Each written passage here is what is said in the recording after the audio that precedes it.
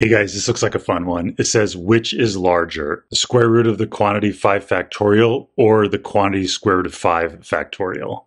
This is day 19 of our algebraic March calendar.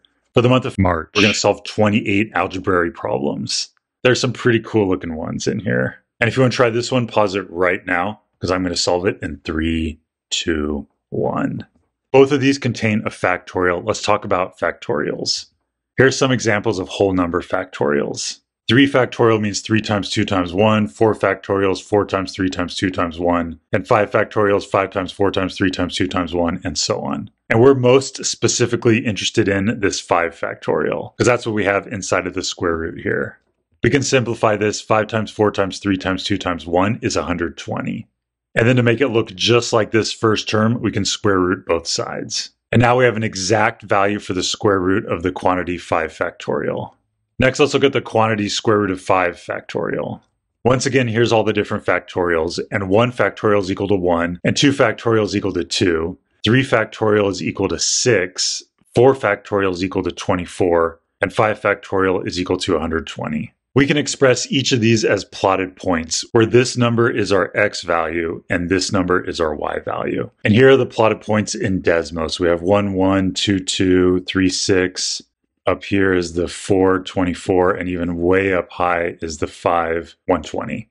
These are discrete points. There's jumps in the graph. But there's a function called the gamma function that we can use to fill in these gaps. Here are the notes right here. We don't need to know too much about the gamma function except for the fact it fills in the gaps. So you can see how it goes through all of our points, even the one way up here. So if we have a number between this number and this number, the factorial has to be between those numbers.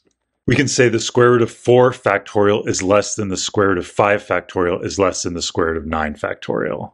And the square root of 4 is equal to 2. We can bring this part down, and square root of 9 is equal to 3. And then 2 factorial is equal to 2. Let's bring this down again. And 3 factorial is equal to 6. We don't know for sure what this is equal to, but we know that it's in between 2 and 6.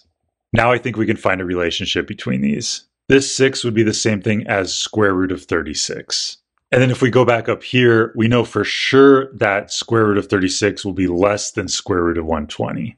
And then we know that the square root of 120 is equal to the square root of 5 factorial. So let's replace the square root of 120 with square root of 5 factorial.